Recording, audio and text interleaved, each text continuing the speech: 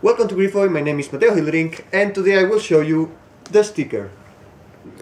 The sticker is one of our most versatile products. It can be made in plastic and paper, and it is used both in in-pack-on-pack promotions, collectible, and point of sale awareness.